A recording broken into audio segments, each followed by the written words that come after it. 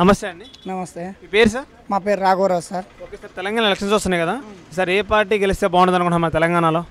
ఇప్పుడున్న పరిస్థితుల్లో చూస్తే కాంగ్రెస్ గవర్నమెంట్ రావాలని చెప్పేసి మనస్ఫూర్తిగా కోరుకుంటున్నాం సార్.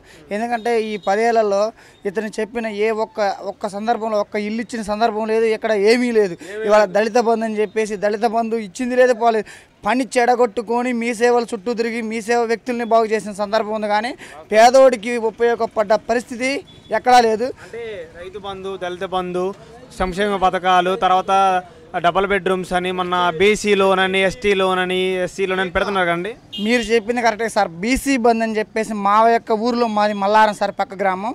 రెండు వందల ఎనభై నాలుగు మంది బీసీలు అప్లై చేస్తే పై నలుగురికి వచ్చినాయి. రెండు వందల రెండు వందల ఎనభై మందికి ఇవ్వలేదు. ఒక్క నలుగురికి ఇస్తే నువ్వు సంతోషపరచగలిసినట్టేనా? ఒకసారి ఒక్కసారి మీరు కూడా అర్థం చేసుకోండి సార్.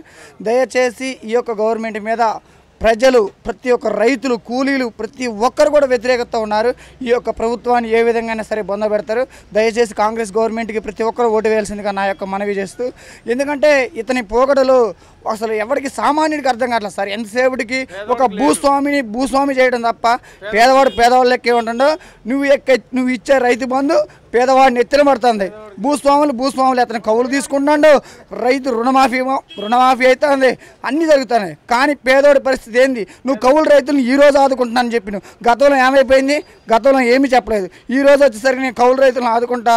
లేకపోతే తెల్ల రేషన్ కార్డు ఉన్నోడికి ఐదు లక్షల రూపాయలు ఇస్తా చనిపోతా అని చెప్పేసి ఈ మాటలు చెప్తున్నావు. గత పది సంవత్సరాల కాలంలో నువ్వేం చేసినావు? ఏమీ చే కాంగ్రెస్ వస్తే పేద ప్రజలకి అన్ని న్యాయం జరిగింది అనుకుంటున్నారా పక్కా జరిగింది సార్. ఎందుకంటే ఈ రాష్ట్రాన్ని ఇచ్చింది కాంగ్రెస్ పార్టీ.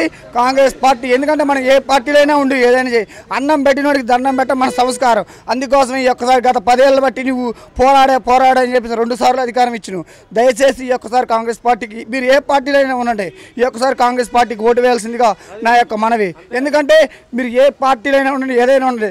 అన్నం పెట్టింది ఎవరు అంటే శ్రీమతి సోనియా గాంధీ. మన తెలంగాణ తల్లి ఎవరు అంటే సోనియా గాంధీ. దయచేసి కాంగ్రెస్ పార్టీకి ఓటు వేయాల్సిందిగా తెలంగాణ ప్రజల్ని ముఖ్యంగా కోరుకుంటున్నాను.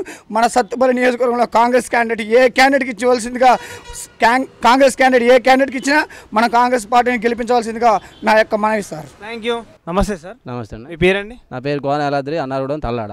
ఓకే అన్న ఇప్పుడు మా తెలంగాణ ఎలక్షన్స్ వస్తున్నాయి కదా. సార్ ఏ ప్రభుత్వం వచ్చింది అనుకుంటున్నారు? మేమైతే కేసీఆర్ ప్రభుత్వం వచ్చింది అనుకుంటున్నాం. ఎందుకని అంత స్ట్రాంగ్ అనుకుంటున్నారు? స్టాక్ అంటే ఇప్పుడు ఆయన ఇచ్చే పింఛన్లు కానీ రైతు బంధువు కానీ ఇప్పుడు రైతు బీమా కానీ పంట నష్టపరిహారం కానీ ఈ షాదీ ముబారక్ కళ్యాణ లక్ష్మి ఈ పథకాలన్నీ బాగున్నాయి. అందరికి అందుతుంది అండి మీకు తెలిసిన అందరికి. అందుతున్నాయి. నా నాకు మూడు నాలుగు సంవత్సరాల నుంచి రైతు బంధువు కూడా అంత ముందు నాకు ఏం రాలేదు రూపాయి బిల్లు కూడా రాలేదు అసలు. ఓకే అండి. ఇప్పుడు మన తెలంగాణ మరి కాంగ్రెస్ పోటీ కూడా గట్టి పోటీ ఇస్తున్నారు వాటి మీ అభిప్రాయం? కాంగ్రెస్ పోటీ ఉంటే వాళ్ళ వాళ్ళే కొట్టుకొని సత్యనారాయణ ఇంతబట్టి సత్తుపల్లి కూడా చెప్పలేదు ఇంతబట్టి అభ్యర్థిని కూడా చెప్పలేదు. సత్తుపల్లి సత్తుపల్లి సండ్రంకటయ్య గారి ప్రచారం కూడా సెవెంటీ పర్సెంట్ పూర్తయింది. ఇంతవరకు అక్కడ క్యాండిడేట్ డిక్లేర్ చేయలేదు. వాళ్ళ వాళ్ళు కొట్టుకొని సత్తున్నారు ఇప్పుడు. అది. ఓకే థ్యాంక్ యూ అన్న. నమస్తే అండి. నమస్తే. మీ పేరు బాబాయ్? మా ఎర్రామయ్య ఆ, ఇప్పుడు మన తెలంగాణ ఎలక్షన్స్ వస్తున్నాయి కదా ఈసారి ఎవరు కోటేస్తావు నువ్వు? కాంగ్రెస్కి. ఎందుకని కాంగ్రెస్ అనుకుంటున్నారు? కాంగ్రెస్ అభిమానం వాళ్ళు అయితేనే ఏదన్నా మంచి సేపలు చేస్తారు. కేసీఆర్ ఏం పెట్టిండు? అయ్యో మాఫీ అన్న ఇది రానేలేదు. ఆ, కాంగ్రెస్ వస్తే బాగుంటుందా. ఆ. థ్యాంక్ యూ బాబాయ్. నమస్తే అన్న. నమస్తే అన్న. మీ పేరన్నా? తుటార్ రామకృష్ణ మంగాపురం తలడు మండలం ఖమ్మం జిల్లా. ఏం చేస్తారన్న మీరు? పత్తి ముఠ. హనుమా ఓకే అన్న ఇప్పుడు మన తెలంగాణ ఎలక్షన్స్ వస్తున్నాయి కదా. ఈసారి ఎవరు గెలుస్తారన్న? మన కాంగ్రెసే. ఎందుకన్నా కాంగ్రెస్ అంత స్ట్రాంగ్ అనుకుంటున్నారు? స్ట్రాంగ్ అంటే ఇప్పుడు కాంగ్రెస్ అంటే ఇప్పుడు అందరినీ గొప్పోడిని ల్యాబ్లోని మొత్తాన్ని కూడా కలపకపోయింది సమానంగా చేసిద్ది. మన కేసీఆర్ లెక్క కేసీఆర్ అంటే ఇప్పుడు కేసీఆర్ ఉండోడికే పెడతాను కానీ లేనోడికి ఏం లేదు. లేనోడు నుంచి మీకు ఏం లభించలేదు. చాలా పథకాలు పెట్టారు ఏం రాలేదండి. ఏమైనా రాలే.